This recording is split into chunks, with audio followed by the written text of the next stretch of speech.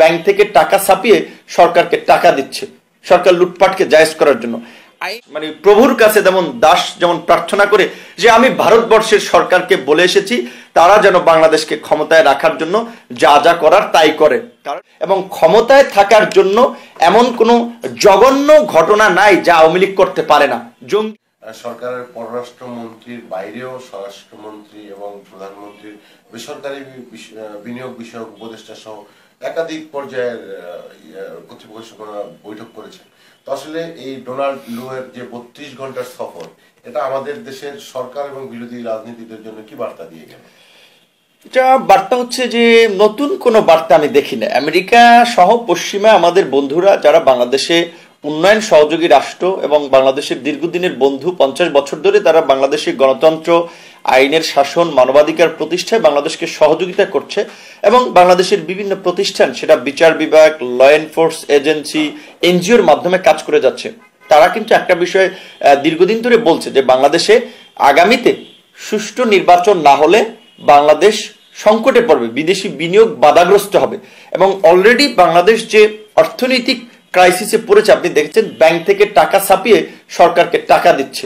সরকার লুটপাটকে জায়েজ করার জন্য। আইএমএফ এর ঋণের জন্য ভিকারির মতো পিছনে ঘুরছে। এবং এলসি খোলা বন্ধ হয়ে গেছে। ব্যবসায়ীরা মানে হচ্ছে ফেড আপ সরকারের প্রতি। তো এই অবস্থায় বিদেশিরাও কিন্তু বলছে যে বাংলাদেশে একটা স্থিতিশীল রাজনৈতিক পরিবেশ ছাড়া বাংলাদেশে এই অর্থনৈতিক সংকট, রাজনৈতিক সংকট কিংবা সামাজিক সংকট থেকে উত্তরণ সম্ভব না। তো তার জন্য পশ্চিমা দেশগুলো, বিশেষ করে বাংলাদেশের আগামীতে যেন একটা সুষ্ঠু নির্বাচন হয়, সেই বিষয়ে খুব তৎপর। কে ক্ষমতা আসবে, কে ক্ষমতা থেকে যাবে, না যাবে, সেগুলো নিয়ে কিন্তু তাদের খুব একটা কনসার্ন নাই। আমরা বিদেশি এই বন্ধু রাষ্ট্রগুলোর সাথে যখন কথা হয়, তাদের এই কথাটাই শুনি যে, তোমরা পিসফুল ডেমনস্ট্রেশন করো এবং তোমাদের ইনস্টিটিউশনগুলোকে তোমাদের আন্দোলনে এনগেজ করো। ইভেন তোমাদের দেশের খ্যাতিমান ব্যক্তিরা সম্মানিত ব্যক্তিরা like professor doctor Mohammad Yunus, যাদের ওয়ার্ল্ড ওয়াইড কানেকশনস আছে, তাদেরকে বাংলাদেশের উন্নয়নের জন্য ব্যবহার করো, গণতন্ত্র প্রতিষ্ঠায় ব্যবহার করো, আইনের শাসন প্রতিষ্ঠায় ব্যবহার করো। তো ওদের এই ভালো পরামর্শগুলো, আমি মনে করি সেগুলো সরকারকেও দেয়, বিরোধী দলকেও দেয়।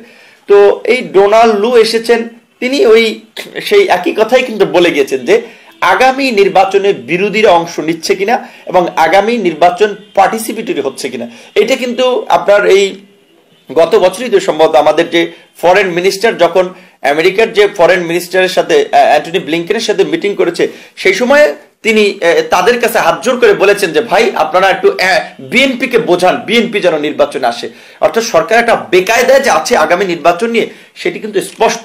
যেমনি ভাবে আপনার সরকারের টোন টিউন শুনলে বুঝতে পারবেন। এর আগে চট্টগ্রামে আমাদের পররাষ্ট্রমন্ত্রী বিকারির মতো বলছে যে মানে যে প্রভু দাসের মতো মানে বিকারি না সরি প্রভু এবং দাস মানে প্রভুর কাছে যেমন দাস যেমন প্রার্থনা করে যে আমি ভারতবর্ষের সরকারকে বলে এসেছি, তারা যেন বাংলাদেশকে ক্ষমতায় রাখার জন্য যা যা করার তাই করে। কারণ বাংলাদেশে ইন্ডিয়ান নিরাপত্তার জন্য বা শেখ হাসিনা সরকারকে প্রয়োজন। আচ্ছা আপনি একটা জিনিস চিন্তা করেন, পঁচাত্তর থেকে ছিয়ানব্বই পর্যন্ত আওয়ামী লীগ ক্ষমতায় ছিল না। তখন কি ইন্ডিয়ার নিরাপত্তার সমস্যা হয়েছে? তখন কি বাংলাদেশের সাথে ইন্ডিয়ার সম্পর্ক খারাপ ছিল? তখনও কিন্তু ইন্ডিয়ার সাথে বাংলাদেশের সম্পর্ক ছিল। এবং আমি যতদূর জানি, ইন্ডিয়াও চায় বাংলাদেশে একটা স্থিতিশীল রাজনৈতিক পরিবেশ, একটা মসৃণ গণতন্ত্র। তো সেই জায়গা থেকে এখন সরকার বিদেশিদেরকে এতদিন ধরে, যেভাবে আপনার এই কথিত জঙ্গিবাদের গল্প, উগ্রবাদের গল্প যে না বাংলাদেশ জঙ্গিবাদের উত্থান হচ্ছে, উগ্রবাদের উত্থান হবে এবং আওয়ামী লীগ, আগে সেকুলার পার্টি, আওয়ামী লীগ থাকলে এগুলোকে প্রশ্রয় দেয় না। কিন্তু আওয়ামী লীগ প্রমাণ করেছে এই চোদ্দ বছরে তারাই বাংলাদেশের সবচেয়ে সাম্প্রদায়িক পার্টি এবং ক্ষমতায় থাকার জন্য এমন কোনো জঘন্য ঘটনা নাই যা আওয়ামী লীগ করতে পারে না। জঙ্গি তৈরি থেকে শুরু করে জঙ্গি আপনার এই ধরার নাটক, জঙ্গি হামলার নাটক সবই আওয়ামী লীগ করতে পারে। এমনকি জঙ্গি ছেড়ে দিয়েও আপনার জঙ্গি পলায়নের নাটকও করতে পারে। এগুলো এই আমি মনে করি আমাদের বন্ধু রাষ্ট্র, ভারত সহ সমস্ত পশ্চিমা রাষ্ট্রের কাছে এখন ক্লিয়ার তো যে কারণে এখন সরকার খুব টেনশনে আছে। এখন ধরেন সরকারপন্থী কিছু মিডিয়া সাংবাদিকরা বলার চেষ্টা করছেন যে ডোনাল্ড লুর সুর পাল্টে গেছে, তার সুর নরম। মানে এতদিন আমেরিকা যেভাবে আপনার ধরেন খুব কড়া ভাষায় বলেছে লাইক অ্যাম্বাসেডারের কথা যদি দেখেন অ্যাম্বাসেডার কিন্তু স্পষ্ট বলেছে যে বর্তমান আমেরিকার যে সরকার, বাইডেন সরকার বাইডেন সরকার যে পলিসি, তারা কিন্তু বলেছে যে গণতন্ত্র মানবাধিকার হবে তাদের আন্তর্জাতিক সম্পর্কের ভিত্তি। এবং তারা এই যে কিছুদিন আগে বে অফ বেঙ্গল কনফারেন্স হয়েছে, সেখানে আপনার অধিকাংশ অ্যাম্বাসেডররা বলেছে যে বাংলাদেশ তথা দক্ষিণ এশিয়ার জন্য সংকট হচ্ছে পরিবেশের বিপর্যয় এবং হচ্ছে কর্তৃত্ববাদের উত্থান। তো সেক্ষেত্রে পশ্চিমা রাষ্ট্রগুলো এখন একমত যে বাংলাদেশের এই কর্তৃত্ববাদকে ঠেকাতে হবে, এই কর্তৃত্ববাদের উত্থানের পরিবর্তে গণতান্ত্রিক স্পেস তৈরি করতে হবে। যে কারণে তারা আপনার এই বিষয়ে বাংলাদেশ সরকারকেও চাপ দিচ্ছে, তারা যেন একটা সুষ্ঠু নির্বাচন করে। এখন বাংলাদেশ যদি আবার সুষ্ঠু, নিরপেক্ষ নির্বাচন করার জন্য বিদেশিদেরকে কথা দেয়, তাহলে তো বিদেশিদের চাপ কিছুটা কম থাকবে। কিন্তু আমার মনে হয় যে সরকার যেভাবে আপনার গায়ের জোরে চোদ্দ এবং আঠারো সালে নির্বাচন করতে পেরেছে, এই নির্বাচন আগামীতে করতে পারবে না। এবং সরকার যেভাবে ল্যাপসাপ দিয়ে মানুষকে বোঝাচ্ছে যে আমেরিকার সুর নরম হয়েছে হ্যাঁ আমেরিকা এখন গভর্নমেন্টকে সাপোর্ট দেবে। আমেরিকা তো কাঁচা খেলোয়াড় না।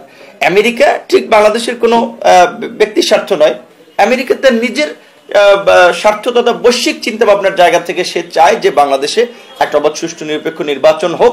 এবং আমার মনে হয় সেটা আগামী নির্বাচন নিয়ে আমেরিকা তার এই অবস্থানের পরিবর্তন করবে না। তবে একই সাথে আমি একটা বিষয় জানিয়ে রাখতে চাই যে আমাদের দেশের কিছু রাজনৈতিক দল সুশীল সমাজের মানুষ মনে করতে পারে যে আপনার আমেরিকানরাই বোধহয় ক্ষমতায় বসিয়ে দেবে। ধরেন আমরা বিরোধী দল যারা আন্দোলন করছে, আমরা যদি সব বাদ দিয়ে যদি খালি বিদেশিদের পেছনেই ধরতে থাকি যে আপনার আমেরিকানদের, আমেরিকানরা তাদেরকে ক্ষমতায় বসিয়ে দেবে, এটি কিন্তু ভুল হবে। বাংলাদেশের জনগণের আন্দোলনও চলমান রাখতে হবে। যদি জনগণের আন্দোলন রাস্তায় থাকে তাহলে কিন্তু বিদেশি বন্ধু রাষ্ট্রগুলো বাংলাদেশে একটা স্থিতিশীল রাজনৈতিক পরিবেশ তৈরি করার জন্য তৎপর হবে। বাংলাদেশে গণতন্ত্র প্রতিষ্ঠার জন্য তৎপর হবে। কাজে সেই ক্ষেত্রে আমি মনে করি ডোনাল্ডু কি করেছে কিংবা বিদেশিরা কি করছে, না করছে, তার চেয়ে বেশি ফোকাস দিতে হবে বাংলাদেশের চলমান আন্দোলন সংগ্রাম, গণতান্ত্রিক আন্দোলন সংগ্রামের প্রতি বিরোধী দলগুলোকে।